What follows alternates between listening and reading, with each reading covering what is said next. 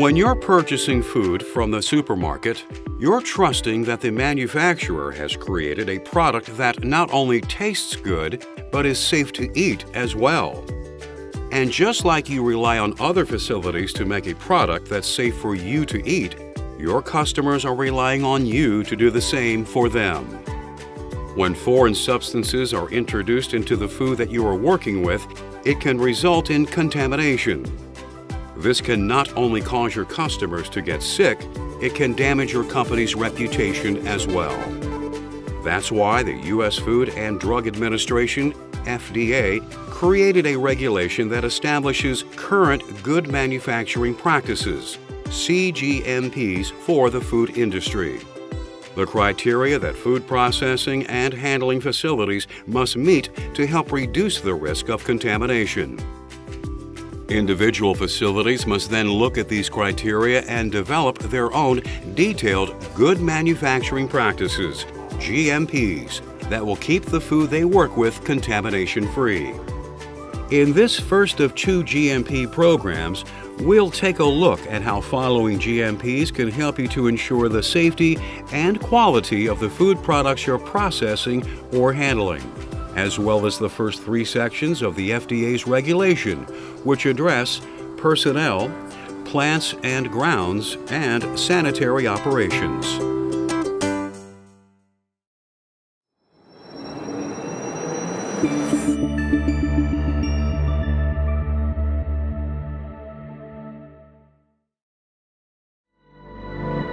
The U.S. Food and Drug Administration's FDA Current Good Manufacturing Practices regulation requires every facility that processes or handles food to create a group of good manufacturing practices, GMPs, that can help to prevent contamination in all of the aspects of their operations.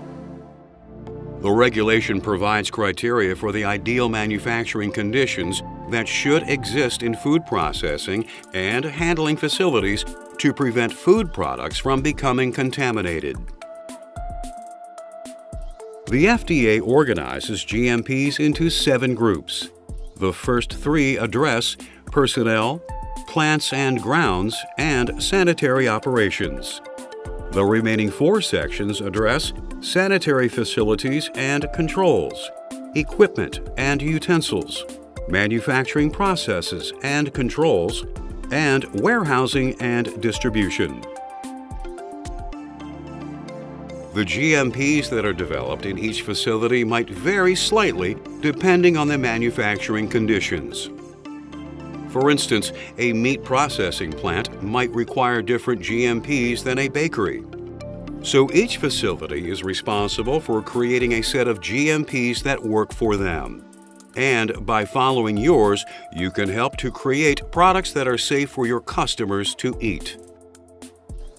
The first three sections of the FDA's regulation set criteria for providing a contamination-free environment by maintaining the condition of your manufacturing space, the areas outside of it, and the people inside of it.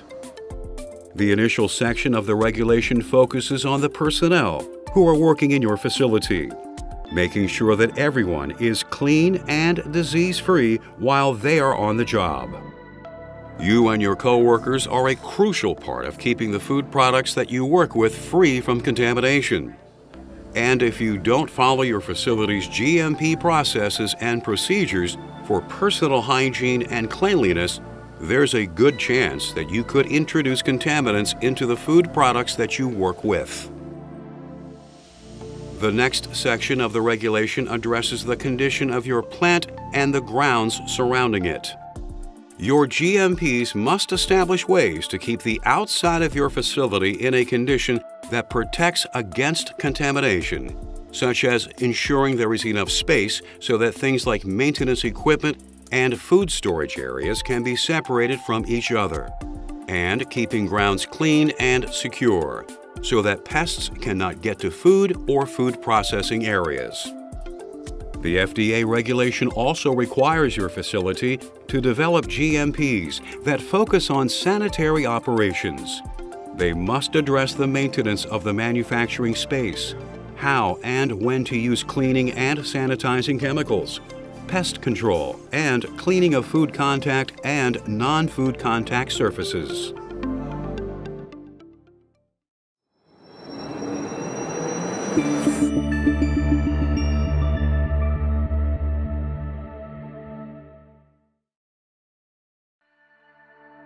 One of the sections in the FDA's CGMP regulation that directly affects everyone in your facility is the one on personnel. That's why your facility's good manufacturing practices, GMPs, must include processes and procedures that you and your coworkers should use to help maintain good personal hygiene. These should address things like personal cleanliness, hand washing, clothing, jewelry, wearing gloves, hair restraints, and taking any other precautions that are necessary to avoid contaminating the food products that you're working with. Maintaining good personal hygiene starts with bathing and showering. There are a lot of harmful microorganisms that can be found in our hair and skin, and they can easily be transferred to anything that you come into contact with. So to avoid contaminating the food products that you work with, you should make sure that you bathe or shower before you come to work. The next thing that you should think about is your clothing. Wearing street clothes on the job can introduce outside contaminants into your facility. If possible, your work clothes should be used exclusively for work and stored inside your facility at all times. Continuing to keep germs and microorganisms off your hands as you go through the day is another crucial part of practicing good personal hygiene. You need to be aware of the specific GMPs that your facility has created for hand washing, but at a minimum you should wash your hands after you enter your facility, enter a new room, or touch something that might be contaminated, such as a product that hits the floor dirty equipment, or even a doorknob. You should also wash your hands after coughing, sneezing, or using a tissue, taking out the garbage, eating or drinking, using the bathroom, using tobacco, and handling chemicals that could contaminate the food you're working with. Wearing gloves is also a very good way to keep your hands sanitary at work. But don't forget to wash your hands before putting on a new pair.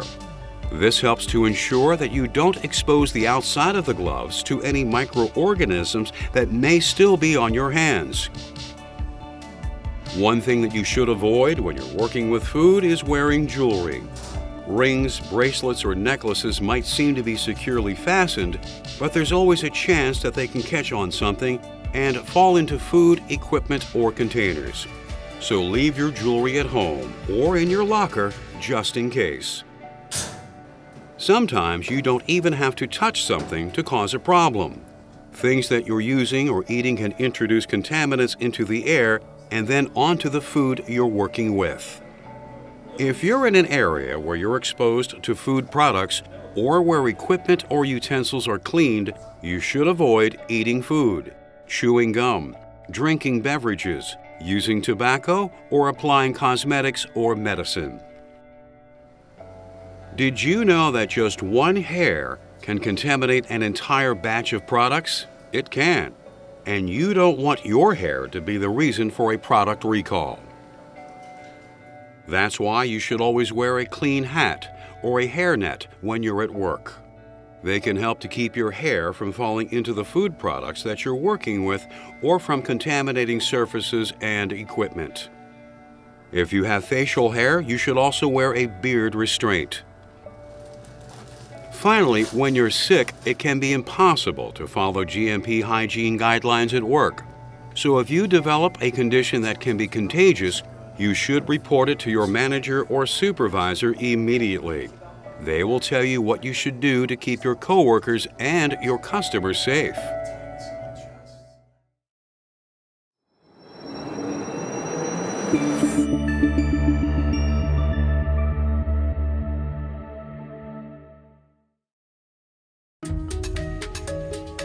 Might think that the good manufacturing practices developed by your facility only need to be adhered to when you're actually handling food products.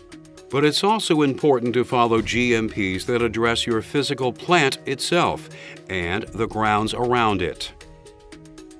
Contamination can come from anywhere, so both the inside and outside of your building should be kept neat and clean, and in a condition that protects the manufacturing environment. These GMPs should focus on making sure the plant and storage facilities are designed for the purpose they are being used for, maintaining the surrounding infrastructure, including roads, yards, and parking lots, and assuring that waste treatment and disposal do not create potential contaminants. Let's take a closer look at each of these areas. The construction and design of your facility must be suitable for food production. The building must have enough space to adequately separate equipment and food storage areas. And floors, ceilings, and walls should be easy to clean and kept in good repair. The lighting in your building should always be bright enough for you to see clearly, not just in areas where you're working with food or cleaning utensils, but in hand washing and bathroom areas as well. Proper ventilation is also vital to preventing contamination. It needs to minimize, if not eliminate, dust, odors, and vapors in areas where they could contaminate the food products that you're working with. The GMPs that address the grounds surrounding your facility should contain strategies that can be used to discourage pests and keep them out of the building. Cutting grass and weeds around the building and draining puddles or standing water goes a long way towards achieving this but you should still be on the lookout for pests when you're outside your facility and report any potential problems to your supervisor. Roads and parking lots also need to be well maintained. Damaged pavement can create dust, which can become airborne and carry bacteria and mold into your facility.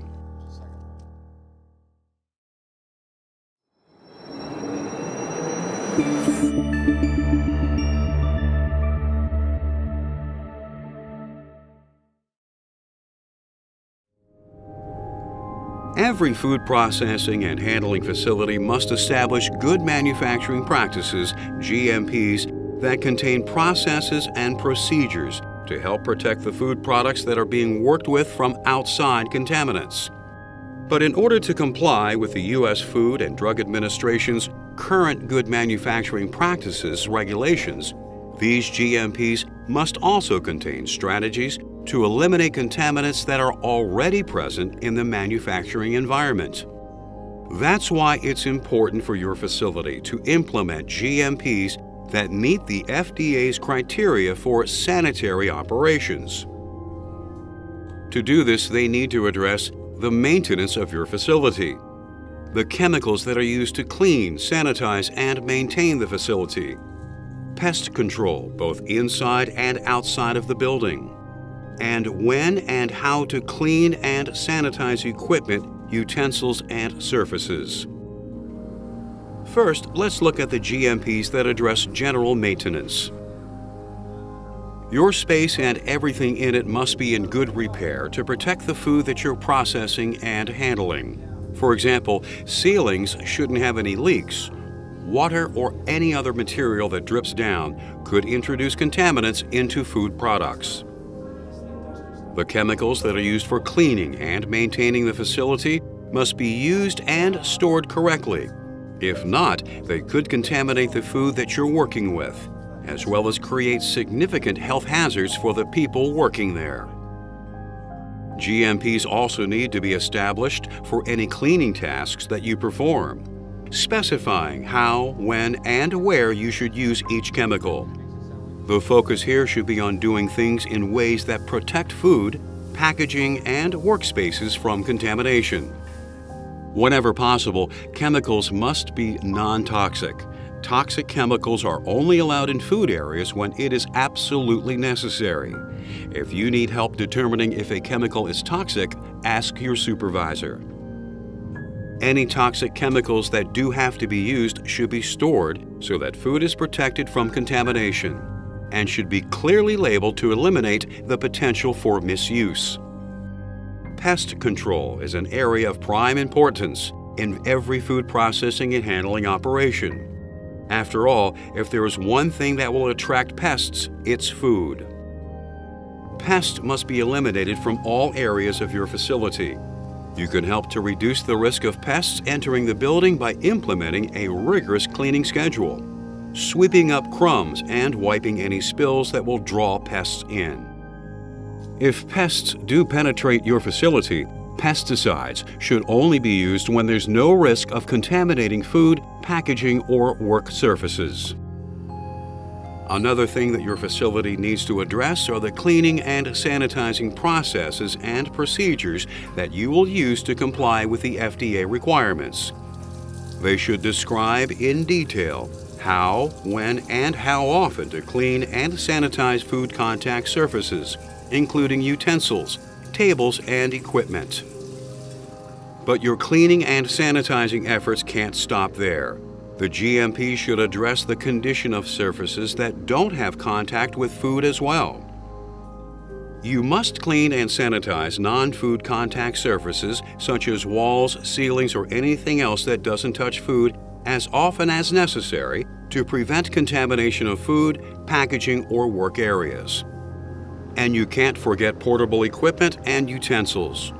Once they are cleaned and sanitized, they must be stored in a way that protects their food contact surfaces from contamination as well. While most GMPs focus on protecting food as it is being processed, it is also important to avoid contaminating food products while they're being stored or transported. These GMPs need to address preventing cross-contact, biological, chemical, and physical contamination, as well as the potential for food deteriorating during storage or transit.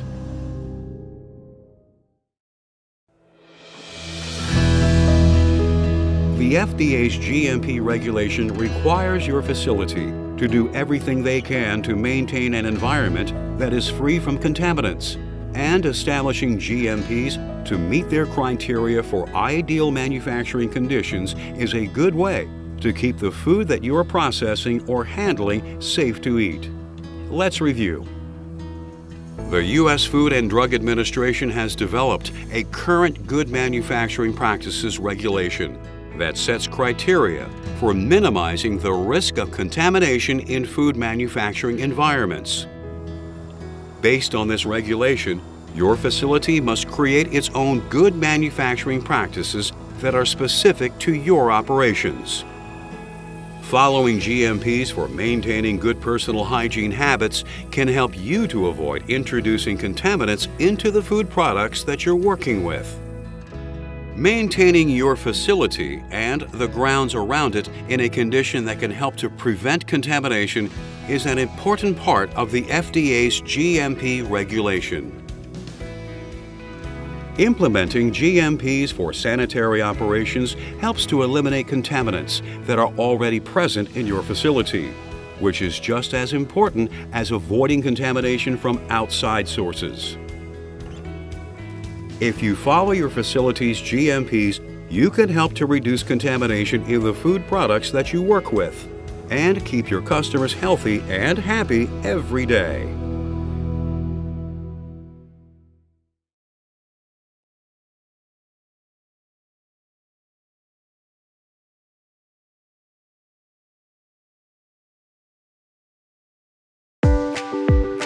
As we discussed in the first program on GMPs, when you work in a food processing or handling facility, you have a responsibility to help create products that people can enjoy.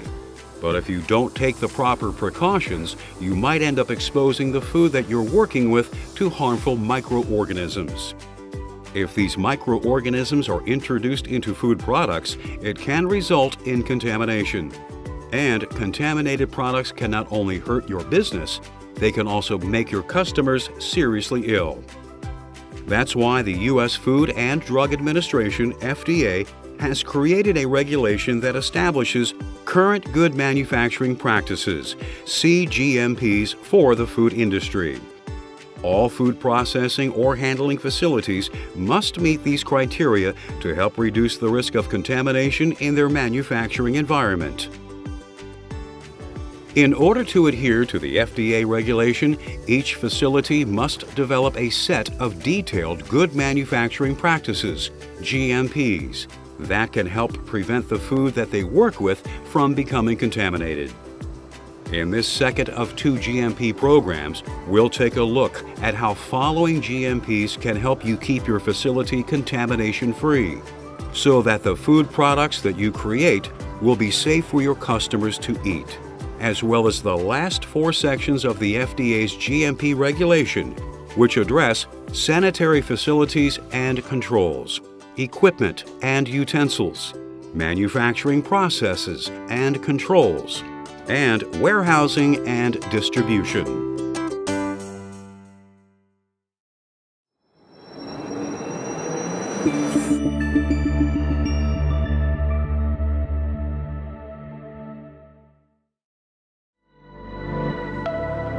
U.S. Food and Drug Administration's FDA current Good Manufacturing Practices regulation requires all food processing or handling facilities to create a group of good manufacturing practices, GMPs, that could help to reduce the risk of contamination in their manufacturing environment.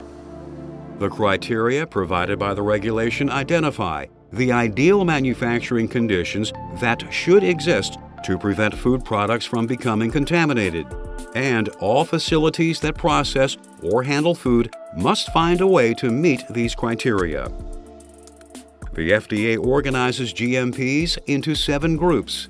The first three address personnel, plants and grounds, and sanitary operations. The remaining four sections address sanitary facilities and controls, equipment and utensils, manufacturing processes and controls, and warehousing and distribution. Not every food processing or handling facility is the same, so GMPs might vary slightly depending on the manufacturing conditions. For instance, a meat processing plant might require different GMPs than a bakery. So each facility is responsible for creating a set of GMPs that work for them. And by following yours, you can help to create products that are safe for your customers to eat.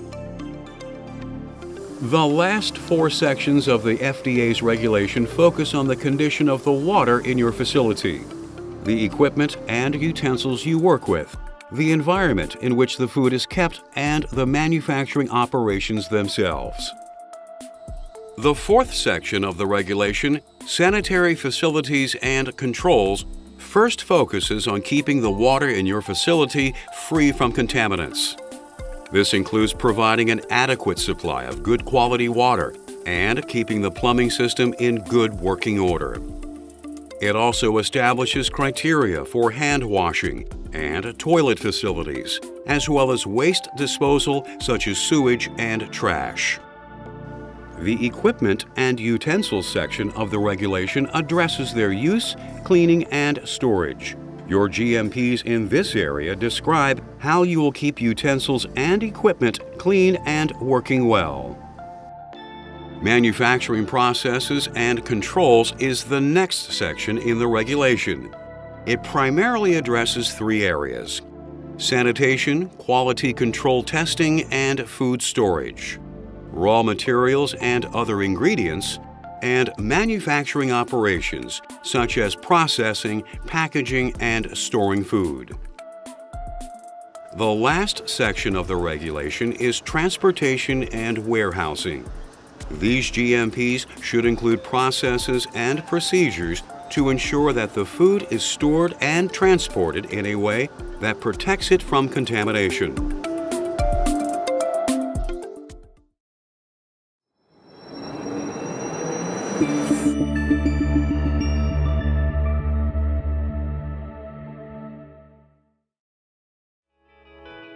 One of the most important requirements in the Food and Drug Administration's FDA Current Good Manufacturing Practices regulation for the food processing and handling industry deals with water and waste. In essence, this requires facilities to provide a clean water supply that has the appropriate temperature and pressure for the food-related activities that take place in all areas Make sure that their plumbing systems are designed and sized appropriately and installed and maintained correctly.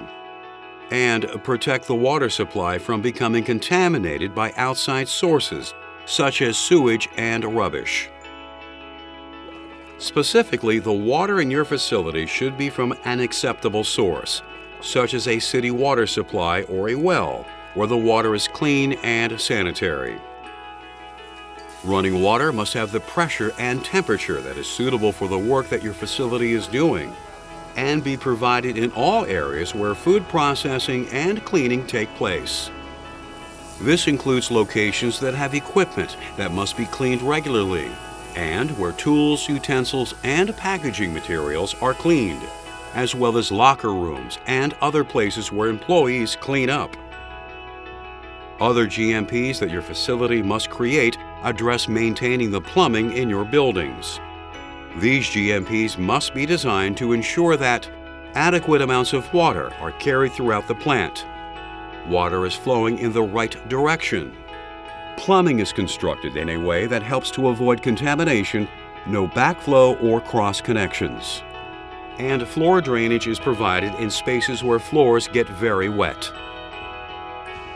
To further reduce the risk of contaminating the water supply, the plumbing system in your facility must be designed to ensure that sewage systems are isolated from other piping and sewage is removed from the facility and disposed of properly. The building that you work in must also have clean toilet and hand washing facilities that are easily accessible to all employees. GMPs must be developed to keep them clean and sanitary at all times so that they won't be a potential source of contamination. Additionally, all garbage and rubbish should be stored in a way that minimizes odor, won't attract pests, and doesn't create a contamination hazard. And you must have procedures in place to dispose of it safely as well.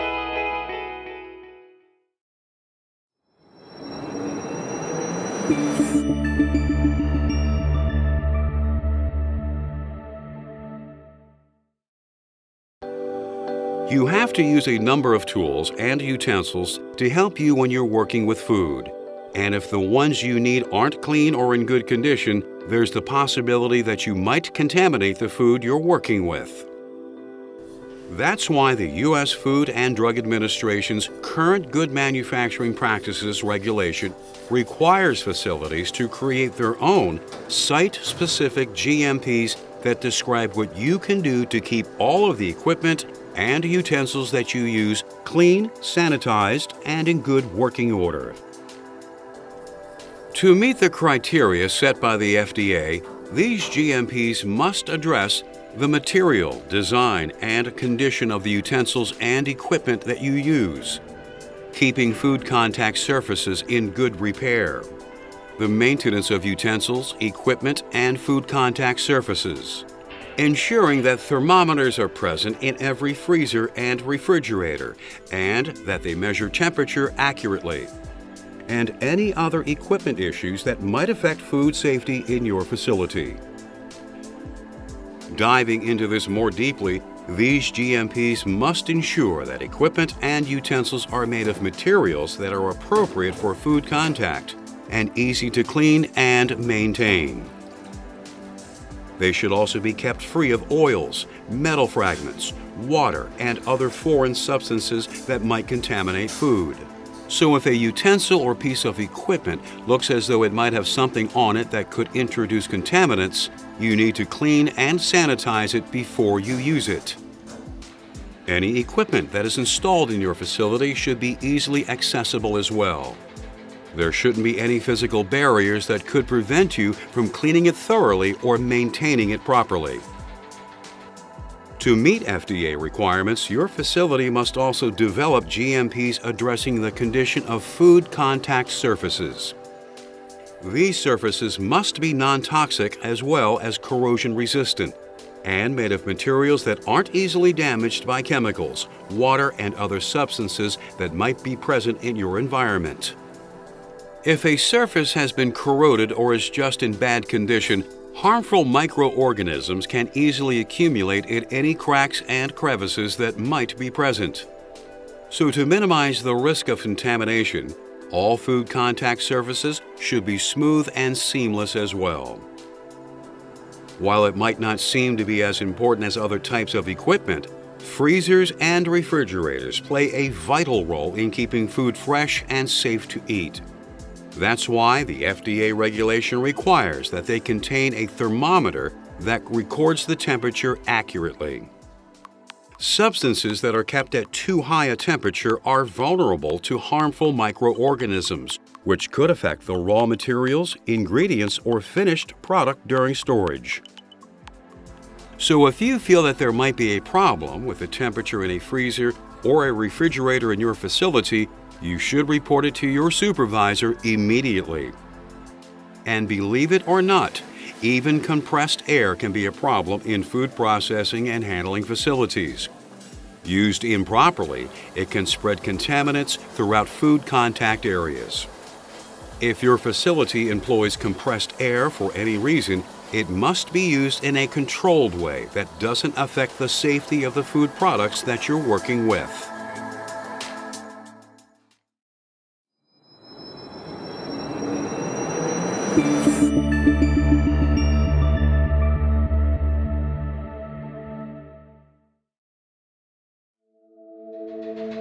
The GMPs that your facility has established to comply with the Food and Drug Administration's current good manufacturing practices all deal with keeping your facility and equipment free from contamination. But one of the most important groups of GMPs are those aimed at preventing contamination during manufacturing operations.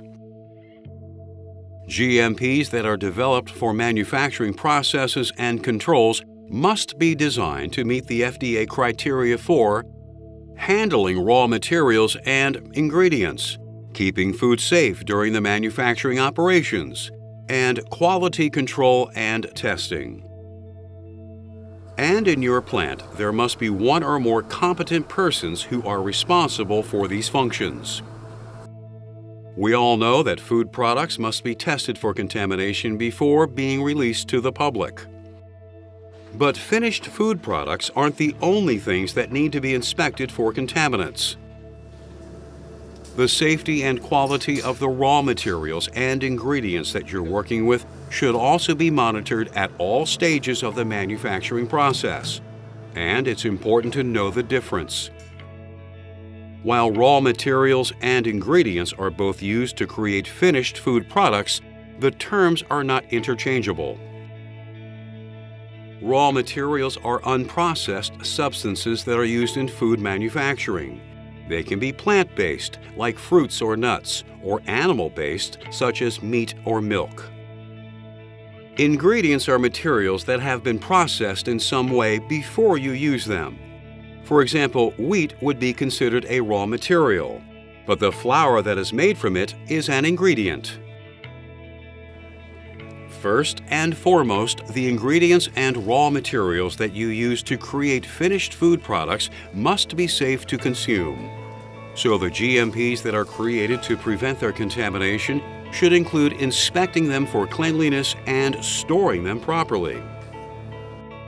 Some raw materials like meat or produce must undergo a process before they are safe to eat, such as cooking or washing so your facility's GMPs should contain specific directions on when and how to use these processes when they are needed.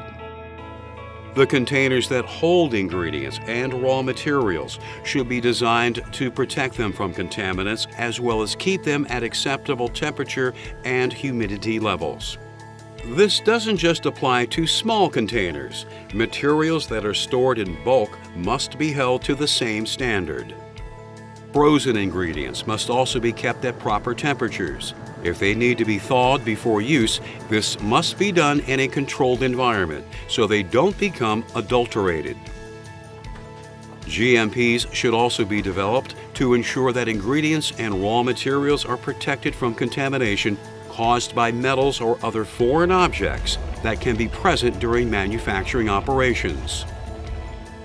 If you think that a raw material might have been exposed to contaminants, it should be washed using clean water or otherwise decontaminated before it's used. It's also important that manufacturing operations themselves are free from contamination, minimize the growth of bacteria, and prevent spoilage. To help mitigate these risks, your facility's GMPs should provide detailed instructions for cooking, sterilizing, and refrigerating ingredients and raw materials during their processing. Using equipment that is clean and sanitary is a vitally important part of protecting food during manufacturing operations. So as you do your job, you need to make sure that you're following GMPs for cleaning and sanitizing as well.